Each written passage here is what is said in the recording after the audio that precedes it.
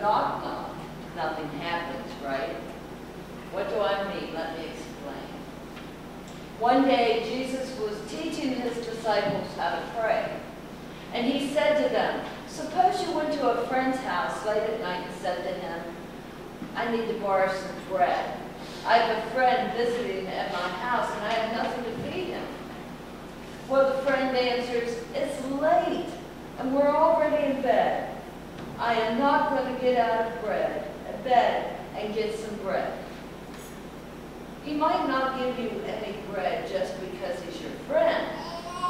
But if you keep knocking and knocking on that door and wake everyone up in the neighborhood, then he will get up and he's most likely going to get you some bread.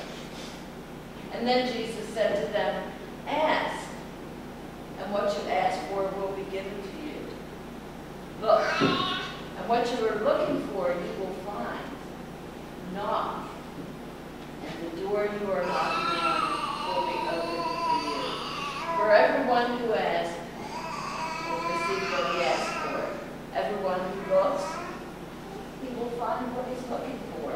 And everyone who knocks will have the door open to him. Jesus was just trying to make his disciples understand, and he also wants us to understand that when we ask the Father for something, we receive it. When we seek God, find him. And when we knock, God is the door, always. Knock, knock. God is there and he answers our prayers. And that's why Jesus taught us to, to pray a special prayer. Can you pray a special prayer that Jesus taught us? Our Father, hallowed be thy name. Thy kingdom come, thy will be done on earth as it is in heaven. Give us this day our daily bread, and forgive us our debts, as we forgive our debtors. And lead us not into temptation, but deliver us from evil. For thine is the kingdom, and the power, and all the glory now and forever. Amen. And I have something for you to color today, and also the start of a prayer on the bottom. So you can color that and then write your own prayer. And I'll bet Marissa will help you do that. And let's see, I think we have some candy.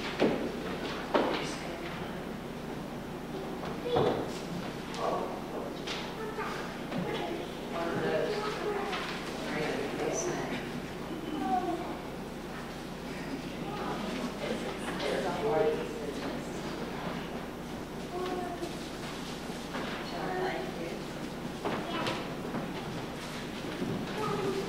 Thank you.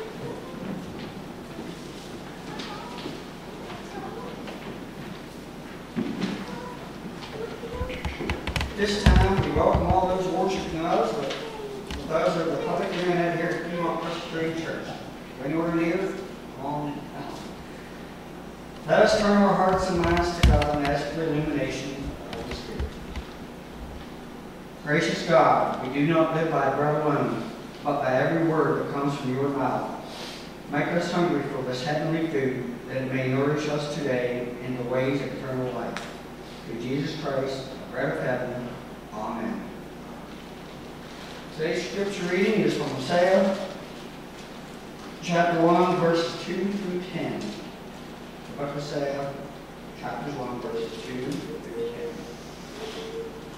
When the Lord began to speak to Hosea, the Lord said to him, Go, marry a promiscuous woman, and have children with her. For like an adulterous wife, this land is guilty of unfaithfulness to the Lord. So he married Gomer, daughter of Diblaim, and she conceived and bore him a son. Then the Lord said to Hosea, Call him Jezreel, because I will soon punish the house of Jacob for the massacre at Jezreel, and I will put an end to the kingdom of Israel. In that day I will break Israel's love in the valley of Jezreel.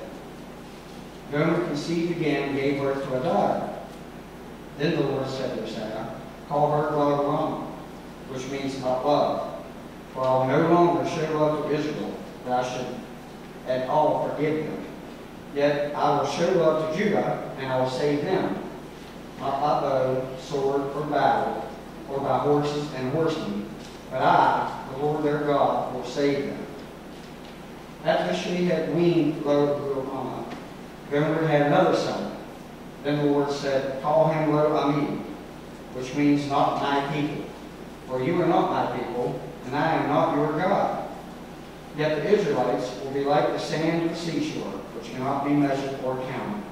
In the place where it was said to them, You are not my people, they will be called children of the living God. Word of God for the people of God. Thanks be to God.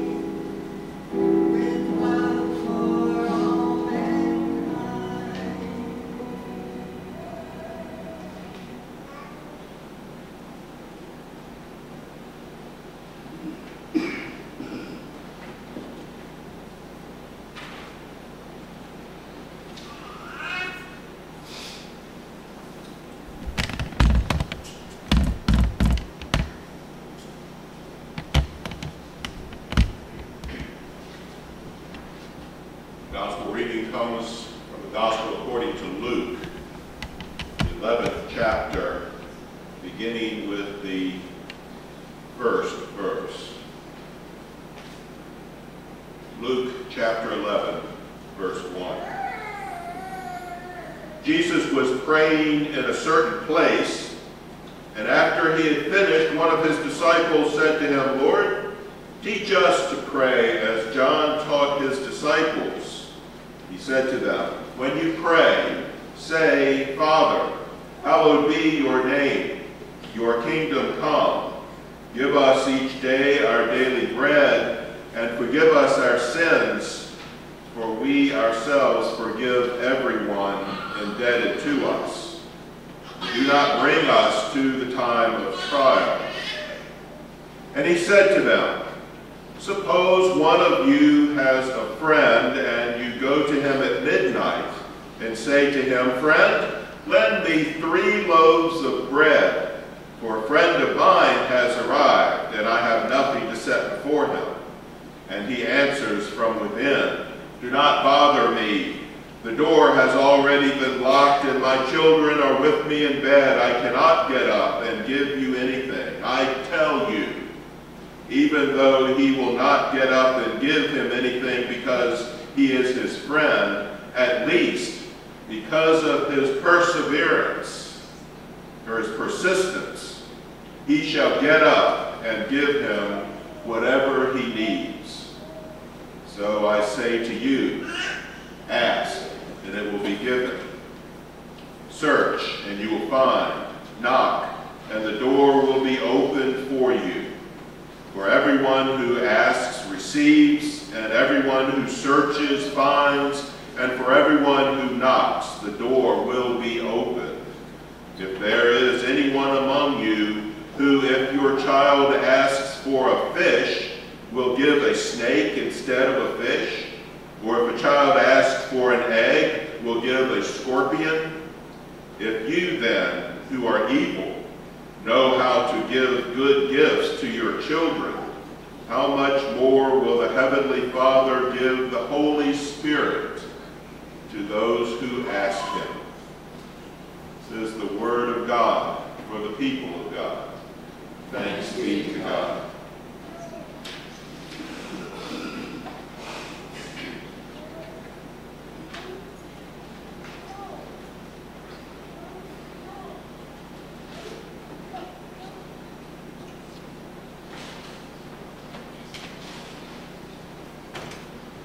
I don't usually talk much about current events in the sermon, but I read an article in the paper the other day that has left me haunted. It was part of an Associated Press series called Divided America, an exploration of the economic, social, and political divisions in American society. It focused on a town in central Appalachia, which is representative of places all across America that are poor and getting poorer. There is desperation and boiling resentment. There is anger. There is high unemployment and few prospects for the future. Drug abuse is rampant. Life expectancy is lowered, and people can't even afford to bury their loved ones. These are the conditions which are fueling the anger of racial and class tensions across the country and the fervor of political campaigns. People feel deserted for the sake of progress someplace else, and they are looking to their candidate of choice as the only hope they have left. They look for hope in campaign slogans, angry rants, blame fixing, and overreaching promises to change what or who is wrong. They are looking for someone to offer them life, and they'll drink elixir is offered. Now, these are certainly difficult times, and there are com complex conditions and issues that we face, and I pray that there are good people working faithfully for ways to get through this turmoil plag plaguing our country and the world. The root of the problem, however, lies in who we understand ourselves to be and where we look for our hope. When we get this wrong, we expose ourselves to the consequences. And these consequences can feel like judgment. The people of Israel lost sight of who they were and wherein lay their hope. We've been talking for several weeks about God's judgment against Israel. First it was Elijah, and then Elisha, and then Amos, and now it's Hosea. God tells Hosea that the land commits great whoredom by forsaking the Lord. So what did Israel do that was so bad?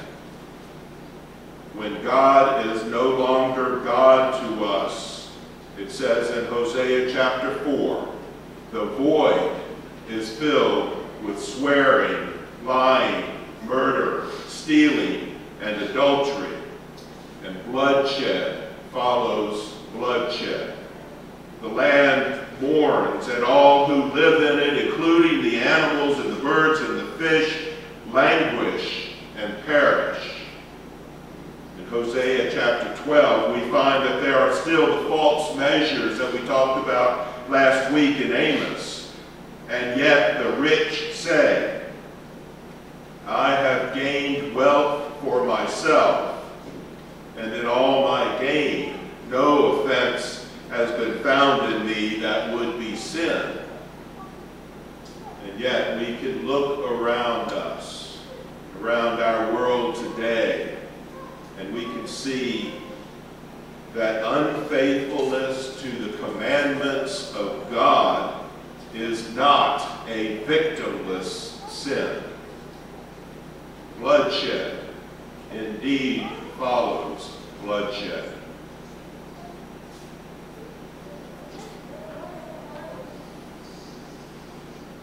The word of God through Hosea said that God would punish the house of Jehu, the king, and put an end to the kingdom of Israel. And God would no longer have pity for Israel or forgive her. Indeed, Israel was no longer counted as God's people, and God was no longer their God. Will you be angry with us forever? We eventually cry out. God's people may be unfaithful and disobedient, disobedient, but God is always and forever faithful. There are consequences for our sinful self-centeredness, but the promises of God remain. God said, the number of the people of Israel shall be like the sand of the sea, which can be neither measured nor numbered. And in the place where it was said to them, You are not my people, it shall be said to them, Children of the living God. God made these promises way back in Genesis to Abraham and Isaac and Jacob. God's people would be a great nation and exceedingly numerous. God is faithful and will not back away from what God has promised. However, the people lost sight of who they were and wherein lay their hope. And Hosea announced first a future without national strength, then a future without God's compassion, and then a future without God. This warning fell on deaf ears then as it does today. There are many in our society who feel they don't need a God and would really prefer that God and God's people would just you know, go away. However, we know the promises of God. We know the faithfulness of God. We know the commandments God. And we know that our very life, the breath we take in and let out, is only by the gracious will of God through the Holy Spirit, the breath of God. And for this, we are grateful. And in gratitude, we are obedient to God's will. Will you be angry forever? Our call to worship this morning came from Psalm 85. So take, take a look at that. Go back to your bulletins, take a look at that. These are the promises of God.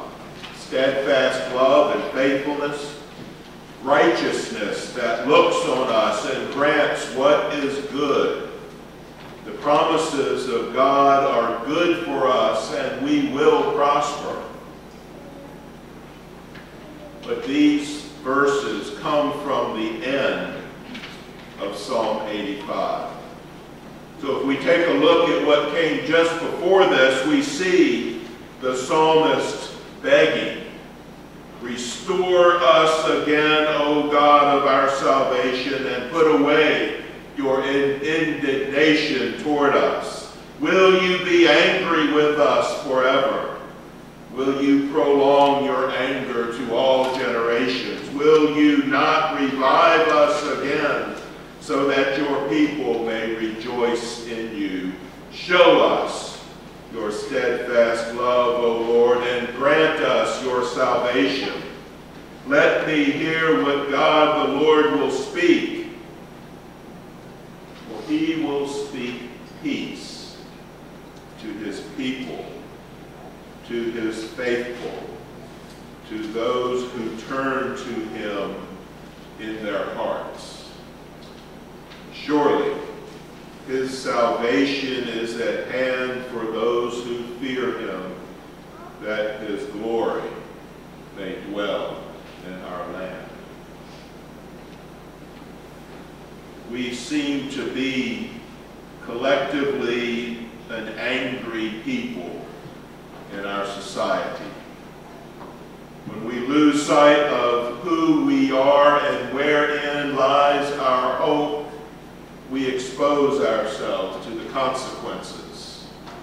When the system doesn't work for us, we feel anxious and fearful, and this leads to anger and a closing off of ourselves from our neighbor in distrust and hatred and fear.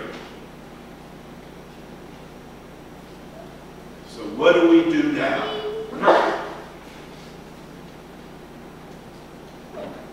Well, we just read in Luke about prayer.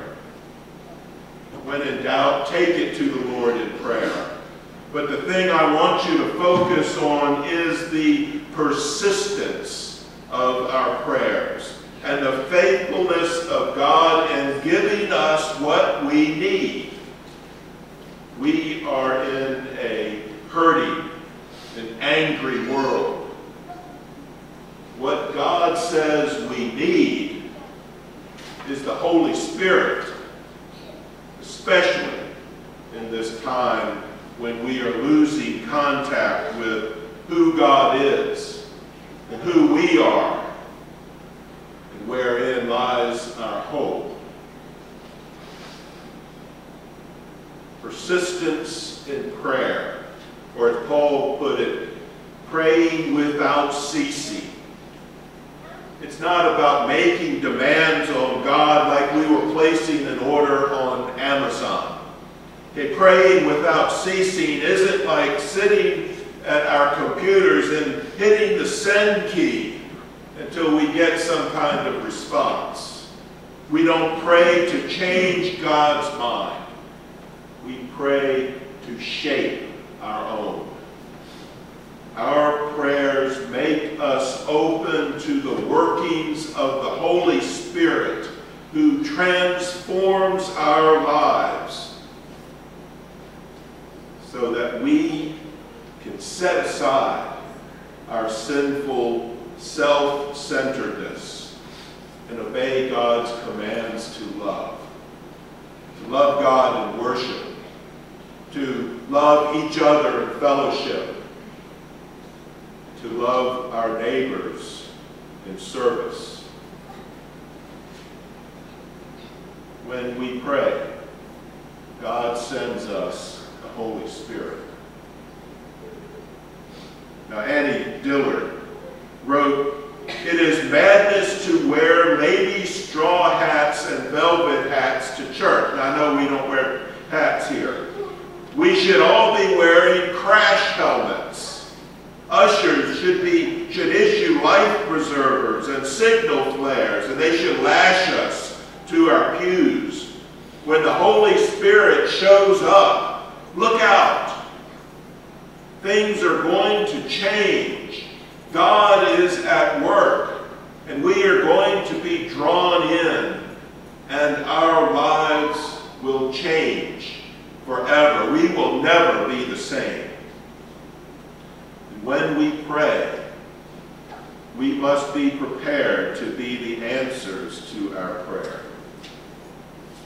Tony Campolo tells the story of a World Day of Prayer speech he once gave to a women's group at a very wealthy church. At the meeting, the leader read a letter about a $5,000 need at a uh, foreign mission hospital.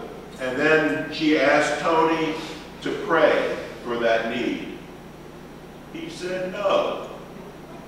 No. Then he took out his wallet and he took all the money he had there and he laid it on the altar. And he turned to the leader and he asked her to do the same thing. She had a whole lot more money than he did.